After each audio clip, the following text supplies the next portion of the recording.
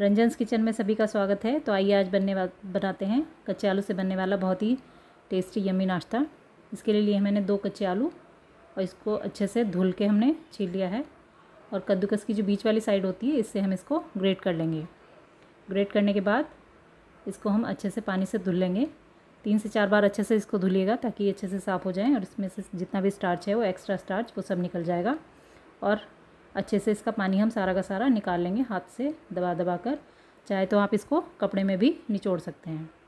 अब इसमें हम डालेंगे कुछ ड्राई मसाले, जैसे कि इसमें डाला मैंने दो चम्मच कॉर्नफ्लोर।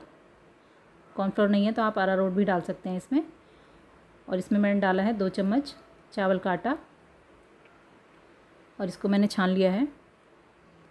ये देखिए, छान के इसको हम डालेंगे। इसमें डालेंगे टेस्ट के अकॉर्डिंग नमक। लाल मिर्च पाउडर।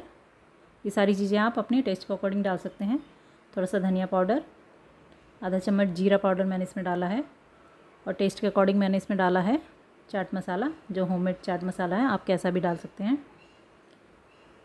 और इनको, इसमें मैंने डाला है थोड़ा सा चिली फ्लेक्स चिली फ्लेक्स का बहुत अच्छा टेस्ट आता है इसमें।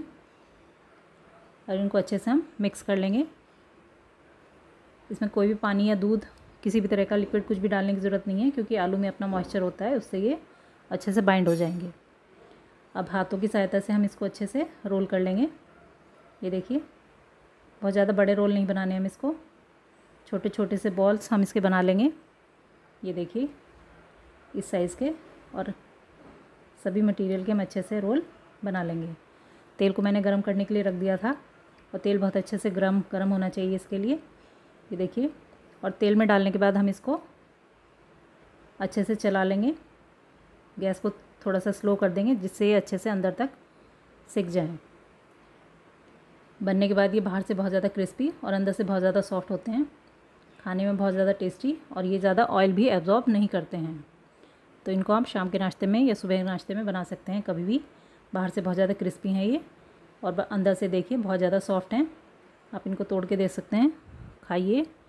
चैनल को सब्सक्राइब कीजिए, वीडियो लाइक कीजिए और वीडियो पसंद आए तो शेयर कीजिए। Thank you for watching